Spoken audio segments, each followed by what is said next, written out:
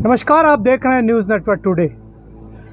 सत्ता के गलियारों से एक बड़ी खबर अभी निकल कर आ रही है। जी हाँ सतना में लॉकडाउन जहाँ 23 तारीख तक बढ़ा दिया गया है, वहीं रीवा में पूरा महीना, यानी सीधा सा अर्थ है, पूरे महीने, मई के महीने में हमको कर्फ्यू के अंदर रहना पड़ेगा।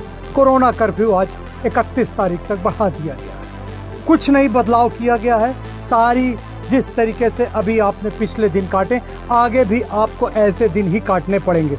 मैं आपको ज़्यादा बेहतर है कुछ बताऊँ, उससे ज़्यादा अच्छा होगा। कलेक्टर का आदेश ही मैं आपको पढ़कर सुना देता हूँ। आपदा प्रबंधन समिति की बैठक में लिए गए निर्णय के अनुसार संपूर्ण रीवा ज़िले में सोमवार 17 मई से जारी लॉकडाउन 31 मई की सुबह छः बजे तक के लिए बढ़ा दिया गया। है कोरोना कर्फ्यू घोषित किया गया है। इस अवधि में सामान्य चिकित्सीय प्रयोजन के अलावा किसी भी कार्य के कोई भी व्यक्ति को अपने घर से बाहर निकलने की अनुमति नहीं होगी। दूध, औषधि, केमिस्ट, अस्पताल, Covid vaccination, central petrol pump पूर्वत खुले रह सकेंगे।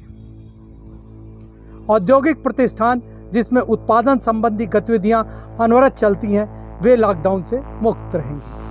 शासकीय उपार्जन कार्य में छूट रहेगी। सार्वजनिक वितरण प्रणाली की दुकानें निर्धारित समय पर खुलेंगी। सब्ज़ी, फल एवं किराना वितरण होम डिलीवरी के माध्यम से ही होगा, जिसकी निगरानी नगर निगम, स्थानीय निकाय, ग्राम पंचायत द्वारा किया जाएगा। सभी एंबुलेंस वाले अपनी एंबुलेंस एंबुलेंस में रेड सूची चस्पा करें।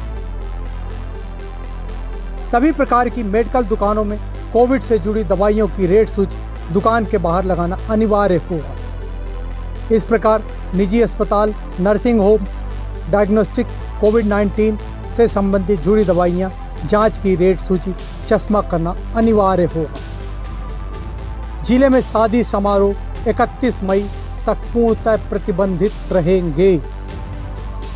शासकीय कार्यालय, राजस्व, पुलिस, बैंक, विद्युत स्थान निकाय, अन्य आपातकालीन सेवाएँ लॉकडाउन से मुक्त रहेंगी।